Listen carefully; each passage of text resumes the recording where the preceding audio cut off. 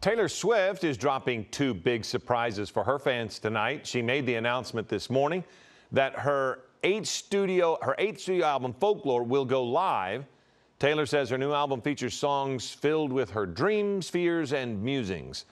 The music video for her song Cardigan from the album will also premiere tonight. Kanye West had previously announced his album called Donda would also come out tomorrow. Hello, I'm Mark Brown. Click the ABC7 logo to subscribe to our Eyewitness News YouTube channel.